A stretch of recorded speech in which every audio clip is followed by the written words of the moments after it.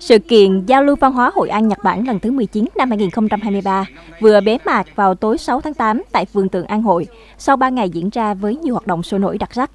Chương trình giao lưu giả bạn đã để lại ấn tượng sâu đậm trong lòng công chúng và những người bạn đến từ đất nước mặt trời mọc.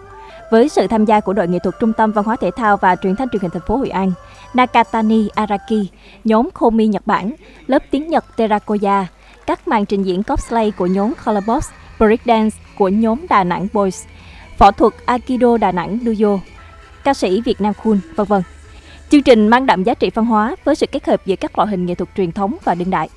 Mỗi lần giao lưu giải bạn của sự kiện giao lưu văn hóa Hội An Nhật Bản, bao giờ cũng có màn sinh hoạt cộng đồng với các hình thức múa bon truyền thống Nhật Bản và trống cơm dân vũ của Việt Nam.